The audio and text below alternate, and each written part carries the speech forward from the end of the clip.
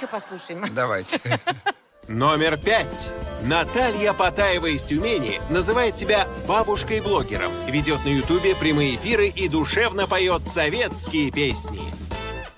Рост до небес, солнечный лес, И не видал, что возле коня На крепкой ножке гриб у дорожки Вырос бела дня. Руды-руды-руды-руды, Помнишь, песня была? а по-русски Отойдись поближе, руды-руды-руды-руды-ри. Я к тебе с поклоном, руды-руды-руды-руды-ри. Будешь ты соленый. Вот. Ну и теперь, дорогие мои, вы должны выбрать из этих Последнюю. претендент последнюю. Так, Катя, хорошо, ты выбираешь последнюю. Значит, мы ее приглашаем на следующую программу шоу Елены Степаненко. Блогер Наталья Потаева из Тюмени стала победительницей народного прослушивания. Наталья, ждем вас в Москве.